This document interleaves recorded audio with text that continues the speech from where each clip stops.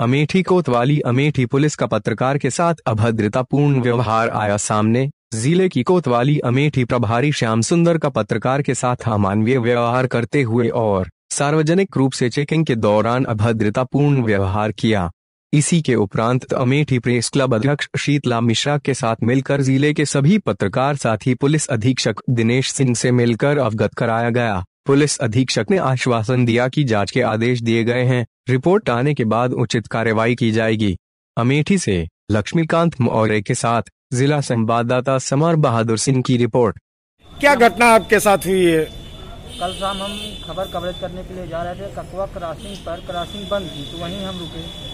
देखे अमेठी यशो श्याम सुंदर चेकिंग लगाए थे, तब मोबाइल निकाल के वीडियो बनाना कोशिश करे। एक सिपाही आकर मोबाइल छोड़ लिया और यशो ने आकर मुझसे पूछा, कौन? तो बताए पट्टे बताए अपना।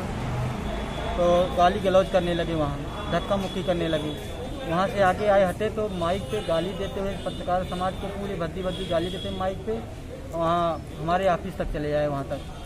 वहाँ से हमको दो सिपाही से घटका के अपने पास लाए। तो हम सीओ को फ़ोन किए, सीओ को फ़ोन करने के बाद मुझे छोड़े। हैं सर पत्रकारों के साथ अमेठी पुलिस द्वारा लाउड स्पीकर पे अभद्र शब्दों का प्रयोग करने का मामला है। अभी पत्रकार संगठन ने आपको प्रार्थना पत्र भी दिया। किस तरीके कार्रवाई की जा रही है? मुझसे प्रतिनिधि मंडल मिल करके आशय का उसने शिकायत करी है। मैंने क्षेत्राधिकारी को जाँच दे दी है। और जैसे तथ्य सामने आएँगे, निश्चित रूप से कार्रवाई की